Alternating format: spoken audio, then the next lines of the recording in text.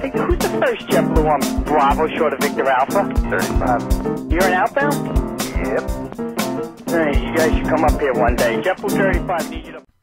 What are the different types of Class E or Class Echo airspace? For this, we have our acronym SETVOTA.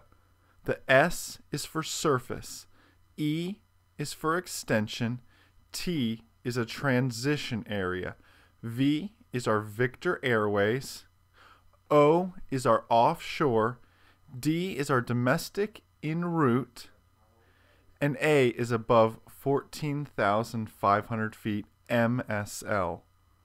Let's take a look at all these and apply them. First up is surface class Echo airspace. Notice it looks just like a class Delta airport, however it is magenta, so it's class Echo all the way down to the surface.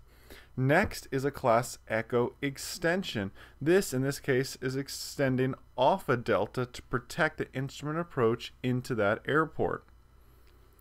Next is a transition area. This is the shaded magenta area surrounding some airports, allowing Class Echo airspace to start at 700 feet.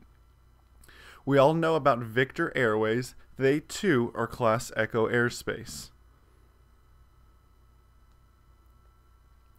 Here's an offshore. You'll only find these on the coast, and they're shown by the zipper line, usually followed by an altitude.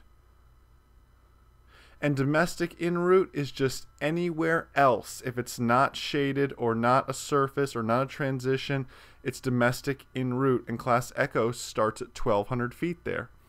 And then lastly, we have above 14,500 feet MSL.